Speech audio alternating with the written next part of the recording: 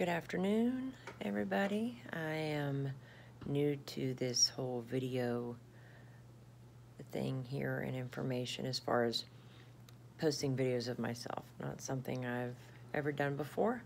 However, my husband and family members have encouraged me to do so because for the last two years, I am always watching videos and reading every article and every video and every comment I could find on dentures and all on fours and extractions, implants, all of that. That said, I literally do every night look for a new video, a new comment on any of the videos I've already seen, just always researching. Um, that said, the topic of this video is research. I'll get into others little by little down the road. I first did a video, I didn't post it, and I think I tried to cover everything in one video, and I thought, wow, you know, that's going to raise a lot of questions, so I think I'll just start off with the beginning, which is what I did before I started my process, actually two years ago. And this is titled Research because I thought I had done a significant amount of research. However, my first go round um, failed. So here we are.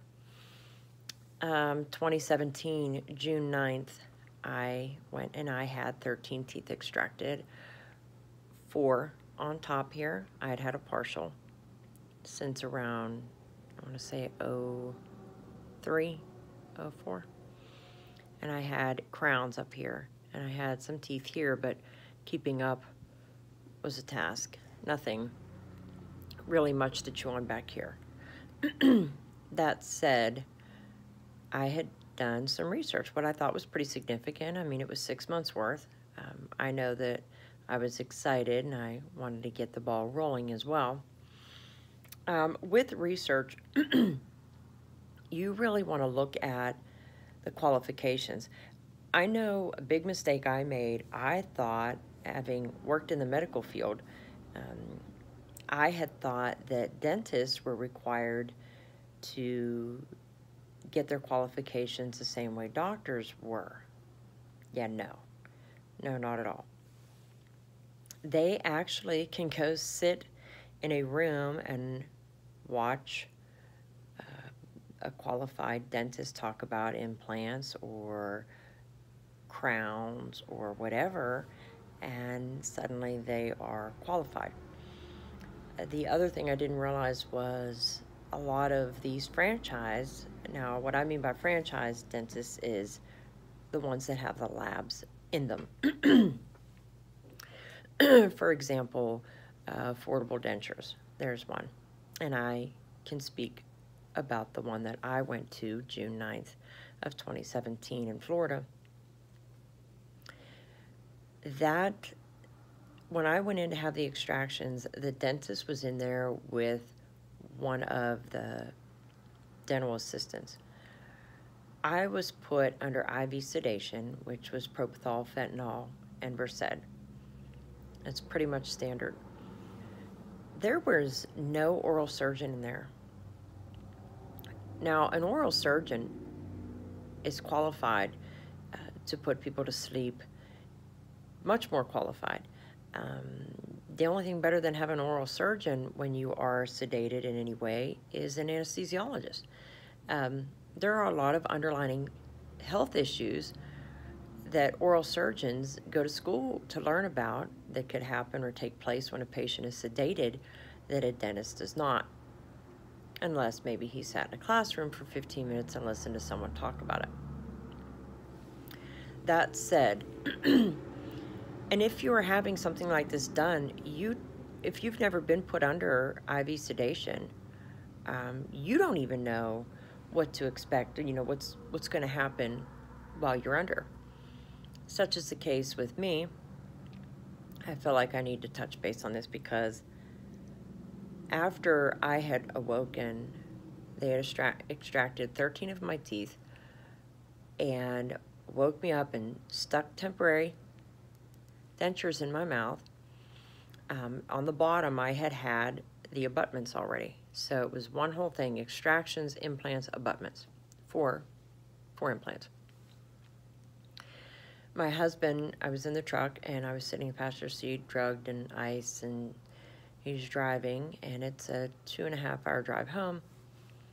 And thank the Lord that he kept calling my name, but I wasn't answering him.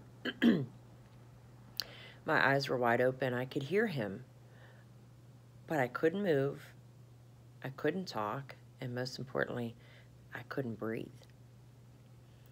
He noticed, pulled over, sat me up, and like hugged me, and I let out a gasp and took a big breath of air. Yeah, that was pretty scary. So, um, so do your research. I want to stay on topic here. You want to look at oral surgeons. They're far more qualified um, to do your implants, your abutments, uh, anything like that. Um, they know what to look for with your blood pressure and things of that nature. So I highly recommend. Yeah, you might pay a little more. I, I get it. I do. But in the end, you know what? You can go and do it like I did the first time, which failed, by the way. I'm on my second go. Um, somewhere else, of course. You can do that. And, you know, I hope it goes well for you. But if there's any underlining issues that you have and you may not know about because you've never done this before, do you really want to risk it? I mean, because in the end, the money I saved doing it the first go round through affordable dentures, and then now what I'm spending now to have it done, the difference, I spent that having another oral surgeon remove my previous implants from affordable dentures because they failed and it was to no fault of my own. It was the type of irrigation they used that wasn't significant or substantial enough and they burned my bone, killing it. So, you know, you really want to eh, outweigh it. Okay, yeah, it was less than this go round, but I'm on two years now of not having any teeth here. So it's depressing. And believe it or not, you'll gain weight because you can't really chew your food, so you eat a lot more carbs. But don't want to get off track. The ideal thing, in, in my opinion, is to find a cosmetic dentist. Someone who um, takes a lot of pride in their work and making people look beautiful. Um, because after all, isn't that what we all want, really? A smile is the first thing you notice on someone, and you only get one chance to make a first impression. So there's no vanity here. Um, I don't know if you're like me, but if it was a struggle, all you ever wanted to do was be able to smile. You know, um, take family photos, smile at happy moments, you know, in your life and with your family. So I found after doing a lot more research that I should find a cosmetic dentist who has worked with an oral surgeon um, where they speak to each other and they get together and talk about the patient, not working out of the same facility, but they correspond daily. And the cosmetic dentist I found has worked with a phenomenal oral surgeon for years. Um, and now they did tell me going in um, it was going to be a lengthy process. But I really, at that time, I was like, it doesn't matter. I just want it done right. So you want to do that research. Uh, you want to look into implants. You want to look into whether you're getting the snap-ons. You have that option. You have the bar retained.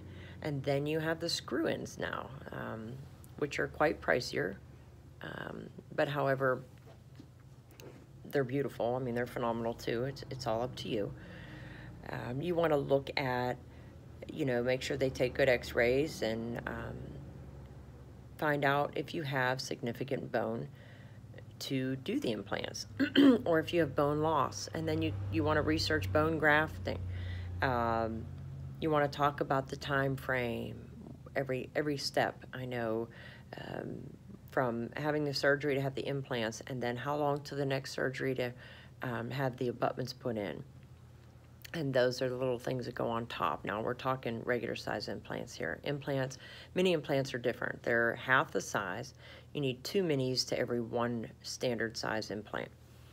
And they uh, are different on top. It's a little bit less invasive, uh, of course, because a larger hole has to be made in your jaw for the standard size, which of course, um, more support. One standard is equivalent to two of the minis, like I said. So these are things you want to look at. Um, minis are also, if you do have significant bone loss, you may have, instead of the grafting, you may choose to go with the minis. Now keep in mind, the price is less, but you have to have two to one. So you're going to need more. I will tell you that after doing research online, um, I have found that since the minis, I, have read on here, it says since the minis are significantly smaller in diameter than traditional, um, the standard posts range from 3.5 millimeters to 6 millimeters, and a mini implant can be anywhere from 2 millimeters to 3.5. That said, as a result, minis can pose a higher risk of implant failure. Keep that in mind. Does that mean they're going to fail? No, no, but they, it says it can pose. Um, so do your research on that. Um, when you speak to the cosmetic dentist and the oral surgeon, you want to find out if they guarantee their work. Um, if something happens, are they going to go back and take care of it? Um, things like that. And there are things that can happen that you don't even know about because you've never done this before. Now, I'm on my second go. Um, there are some things that I know that can happen, such as when I went to the cosmetic dentist to have my abutments removed, she was going to measure for my locators to be put in, which those are the final things that go in that your dentures snap onto um, she went to remove an abutment, and I just felt a zap up into my head, like I was being electrocuted. Um, and I, she stopped immediately, and I said, I don't know what that is. She said, Can you still feel it? I said, Yeah. It, it you know, uh, throughout the course of the day, it continued. It dulled, but it just like didn't feel right, didn't feel good. Um, she immediately called the oral surgeon and talked to her, and the oral surgeon was able to um, get me in, I think, the next day. And again, because no discomfort, um, she sedated me and she removed that abutment as well as all the others to check. And sure enough, my dentist had told me that there's a possibility that there was some bone growth between your between my uh, implant and the abutment in there. And sure enough, and so when she tried to turn it, of course, it, that bone is going to pinch. So she fixed that up. So these are some things that you don't even know um, exist or that they even happen. So there again, research, research, research. Um, so you want to make sure that also, I know from watching other people's videos, there's some really good ones on here. Um, one lady, I won't mention her name because I, I don't have permission. Um, she had said, you know, when you go for a consultation to have this done, make sure that they're going to include like a reline because a lot of these, especially for mini implants, um, you get them right away. And over time, your gums are going to shrink. You know, they're not going to be swollen anymore um, in a few months. And so, uh, is that reline covered? Because that can be pricey um, if you don't have insurance, and even if you do.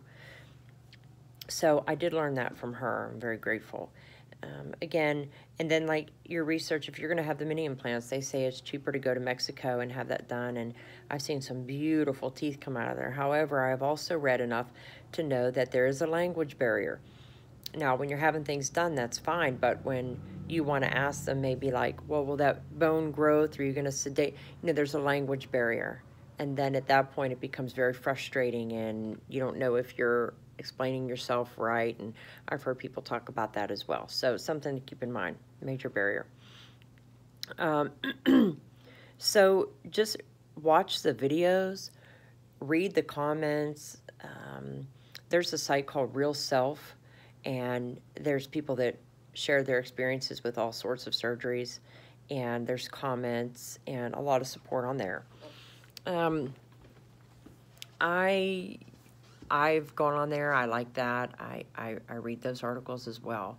So that said, um, I think that's mainly what I wanted to get across was just do a lot of research because the time it, it's so important. I, I can't even tell you. It's been it's depressing. It's very sad. You lose motivation um, because it is a lengthy process and you go from looking even if you didn't like your teeth, your face ages drastically when you don't have any in your mouth, um, such as which is the case with me right now. However, uh, that said, I am already up to the point where I did my wax bite and Thursday I go for my wax try-ins. Now the wax bite is a plain wax block where they get everything measured, the center line, um, the thickness that you want for more top lip and here and it evens out your jaw, things like that. They send that off and then the lab makes the wax try-ins which are going to look like my final teeth. They have the teeth on them and everything, the color, everything. So I'm, I'm finally going to get to see what I'm going to look like with the final set. And also it's where we make any last minute um, decisions, altercation, you know, or changes or anything like that. Make sure everything is aesthetically pleasing um, and feels right and comfortable. Now, at this point, I will tell you, you're going to get very anxious, very excited. Um, be prepared for disappointment, um, just in case. And don't be afraid to speak up. If something doesn't feel right, looks a little off, things like that, say it. Yeah, it might take a little longer, but really at this point, I started this, my second go around in April of last year. Okay, so I'm going to keep posting um, different things here, and you can follow my story. Um, so that's it. That's where you want to start with your research. Lots and lots of research. If you have any questions or comments, um, post them below. Please subscribe. Um, I am plan to continue making videos. Um, if you have a suggestion as what you'd like my next one to be, I was thinking I was going to explain what happened with my teeth on the next video and what transpired my first go around with this. So that would kind of open your eyes as to what not to do. So have a great day. Um, smile anyway. So they're contagious. Uh, again, any questions, post them below, and I'll see you on my next one. Bye bye.